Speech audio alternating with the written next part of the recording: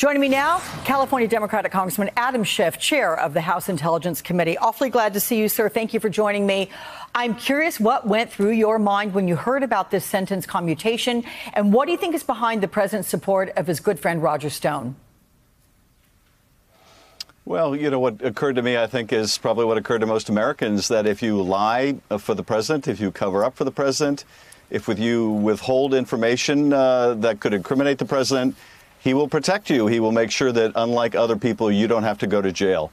Uh, there are now two standards of justice in this country one for the criminal pals of the president and one for everybody else.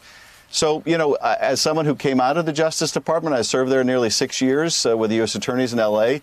It's uh, heartbreaking uh, on the one hand, but it's uh, more than that. It's also so destructive of the independence of the Justice Department and the whole rule of law in this country. Do you think there was any chance that uh, this thought went through the president's mind that were he not to have commuted Roger Stone's sentence, that Roger Stone could, you know, as they say, sing like a canary, uh, reveal things about the president that he didn't want revealed?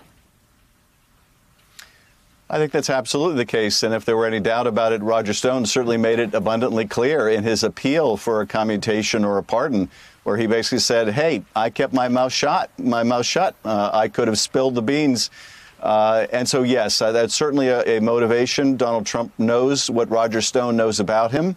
Uh, in fact, uh, part of what Mueller found is that the president's statements may very well have been false uh, in answer to questions from the special counsel on the subject of Roger Stone. So, yes, I think that's certainly motivation. I also think, Alex, part of the motivation here, as bizarre as it may seem, is the president wants to distract at all costs from the growing and horrendous death toll uh, of the coronavirus, the, the deadly incompetence uh, of this administration.